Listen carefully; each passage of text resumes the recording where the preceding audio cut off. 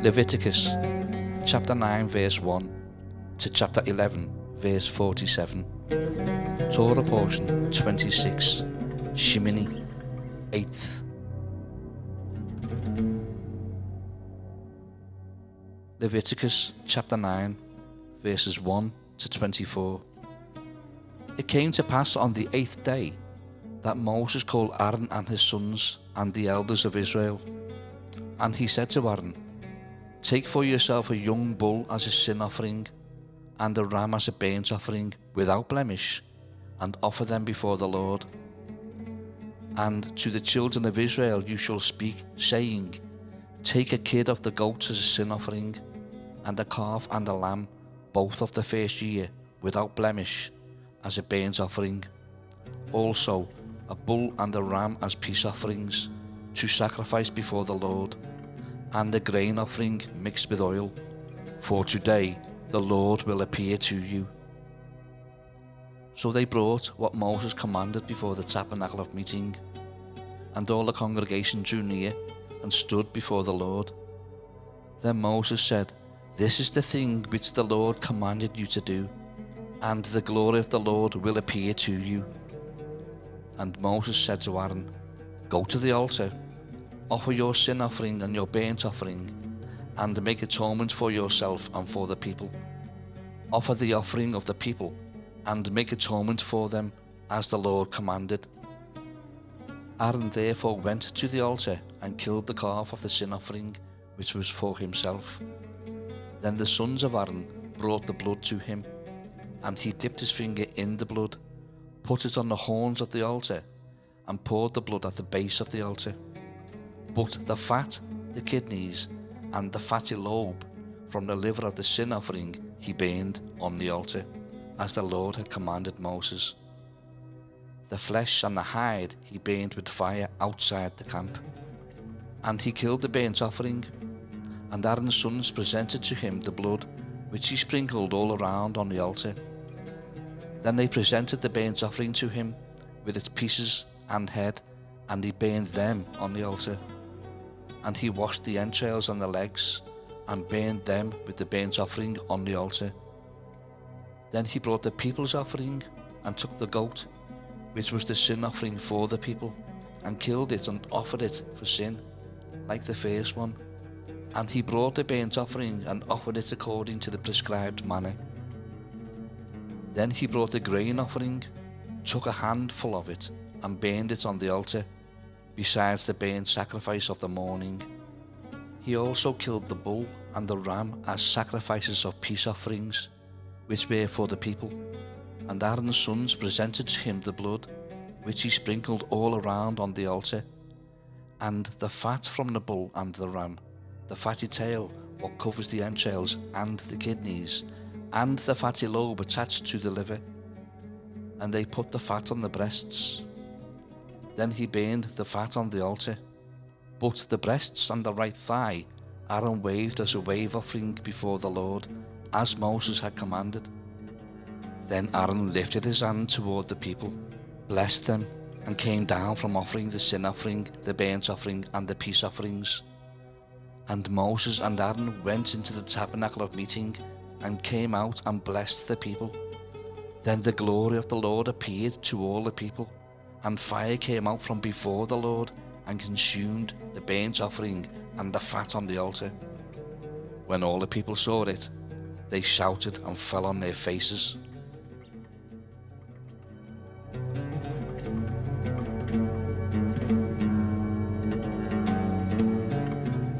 Leviticus chapter 10, verses 1 to 20.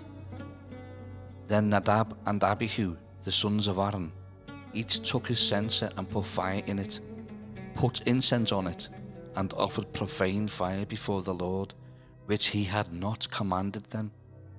So fire went out from the Lord and devoured them, and they died before the Lord. And Moses said to Aaron, This is what the Lord spoke, saying, By those who come near me I must be regarded as holy, and before all the people I must be glorified. So Aaron held his peace. Then Moses called Mishael and Elzaphan, the sons of Uzziel, the uncle of Aaron, and said to them, Come near, carry your brethren from before the sanctuary out of the camp. So they went near and carried them by their tunics out of the camp, as Moses had said.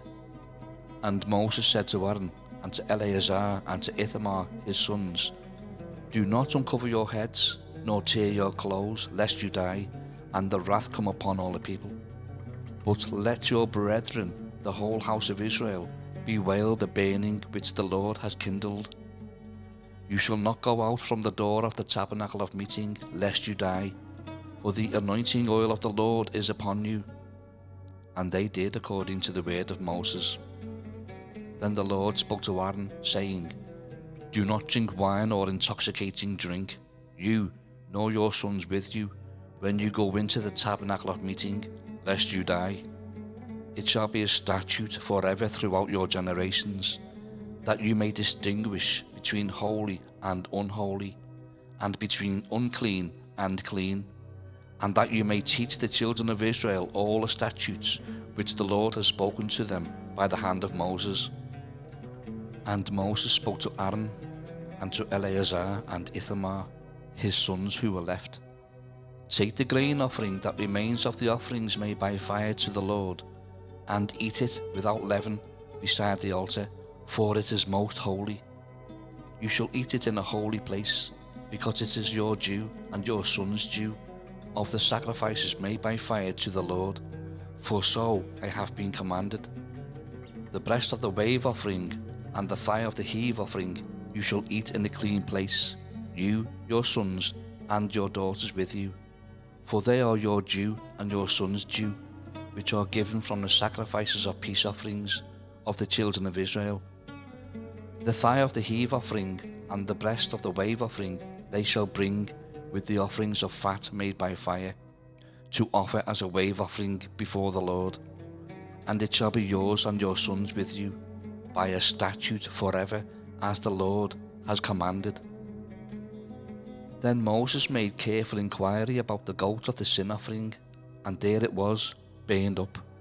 And he was angry with Eleazar and Ithamar, the sons of Aaron who were left, saying, Why have you not eaten this sin offering in a holy place, since it is most holy, and God has given it to you to bear the guilt of the congregation, to make atonement for them before the Lord? See, its blood was not brought inside the holy place. Indeed, you should have eaten it in the holy place as I commanded. And Aaron said to Moses, Look, this day they have offered their sin offering and their burnt offering before the Lord, and such things have befallen me. If I had eaten the sin offering today, would it have been accepted in the sight of the Lord? So when Moses heard that, he was content.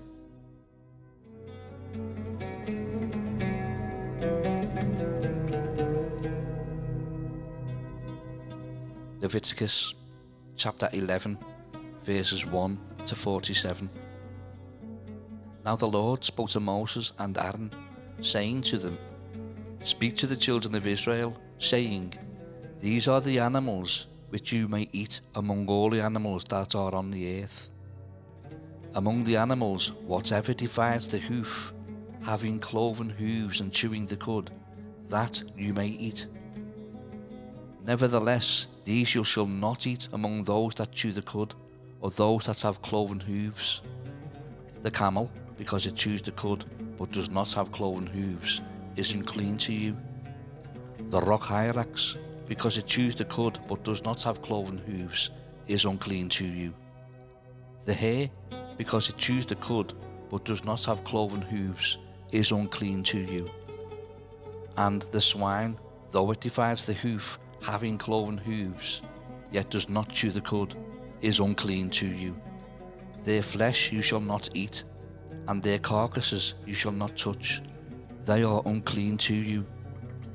These you may eat of all that are in the water. Whatever in the water has fins and scales, whether in the seas or in the rivers, that you may eat. But all in the seas or in the rivers that do not have fins and scales, all that move in the water, or any living thing which is in the water, they are an abomination to you. They shall be an abomination to you, you shall not eat their flesh, but you shall regard their carcasses as an abomination. Whatever in the water does not have fins or scales, that shall be an abomination to you.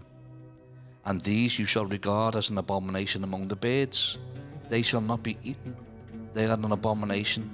The eagle, the vulture, the buzzard, the kite, and the falcon after its kind, every raven after its kind, the ostrich, the short eared owl, the seagull, the hawk after its kind, the little owl, the fisher owl, and the screech owl, the white owl, the jackdaw, and the carrion vulture, the stork, the heron after its kind, the hoopoe, and the bat. All flying insects that creep on all fours shall be an abomination to you. Yet these you may eat of every flying insect that creeps on all fours, those which have jointed legs above their feet, with which to leap on the earth.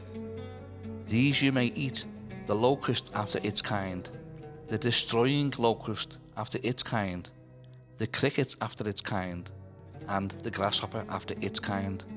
But all other flying insects which have four feet shall be an abomination to you. By these you shall become unclean. Whoever touches the carcass of any of them shall be unclean until evening.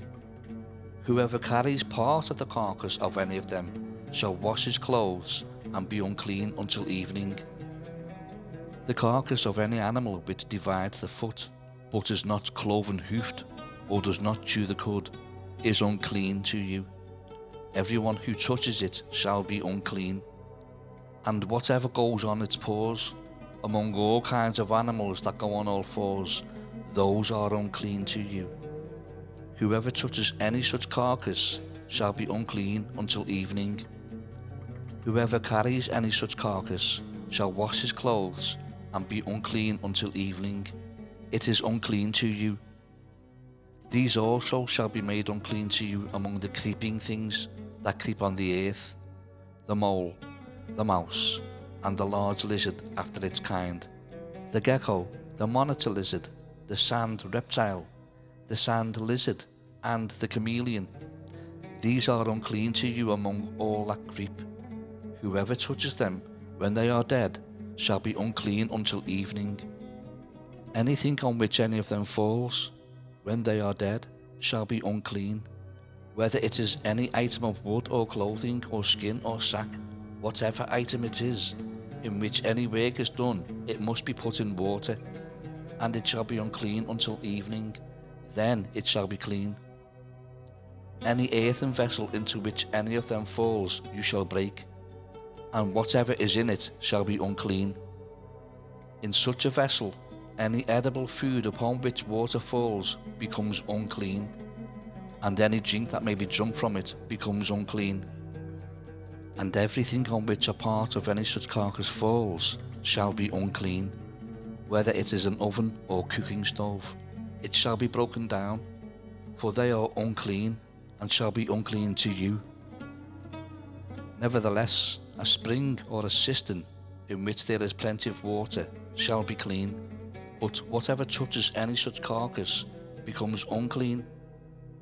And if a part of any such carcass falls on any planting seed which is to be sown, it remains clean. But if water is put on the seed, and if a part of any such carcass falls on it, it becomes unclean to you. And if any animal which you may eat dies, he who touches its carcass shall be unclean until evening. He who eats of its carcass shall wash his clothes and be unclean until evening. He also who carries its carcass shall wash his clothes and be unclean until evening. And every creeping thing that creeps on the earth shall be an abomination, it shall not be eaten. Whatever crawls on its belly, whatever goes on all fours, or whatever has many feet among all creeping things that creep on the earth, these you shall not eat, for they are an abomination. You shall not make yourselves abominable with any creeping thing that creeps, nor shall you make yourselves unclean with them. lest you be defiled by them. For I am the Lord your God. You shall therefore consecrate yourselves, and you shall be holy, for I am holy. Neither shall you defile yourselves with any creeping thing that creeps on the earth. For I am the Lord who brings you up out of the land of Egypt to be your God. You shall therefore be holy, for I am holy. This is the law of the animals and the birds, and every living creature that moves in the waters, and of every creature that creeps on the earth, to distinguish between the unclean and the clean, and between the animal that may be eaten and the animal that may not be eaten.